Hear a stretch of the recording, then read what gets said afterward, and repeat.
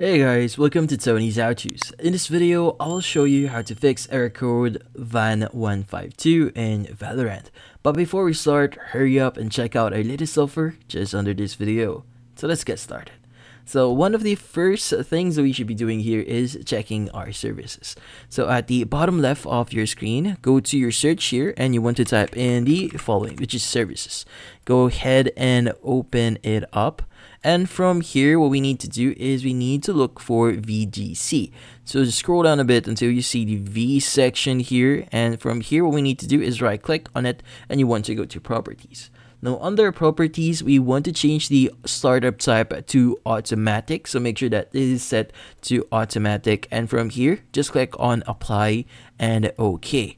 Now, in this case, this should actually solve the issue, but if not, we have another solution we could do. Now, in here, the second solution, we first have to go to our command prompt. So go to your search at the bottom left, just type in CMD, and you should see command prompt open up. So in this case, you want to right click on it and just click on run as administrator and just hit on yes. Now from here, what we need to do is to we need to enter the following command, which is going to be sc delete vgk and just hit on enter. Now the next command is going to be se or sc delete vgc. Now in here, let's go ahead and just press on enter and we are going to proceed with the next step. Now for the next step, we need to go ahead and go to your search again and type in the following, which is going to be control panel. Go ahead and open it up. And we want to go ahead and go to programs here, but click on uninstall a program.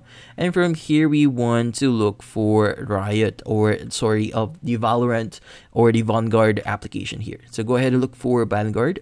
And here we have Riot Vanguard. You could use a search at the top right.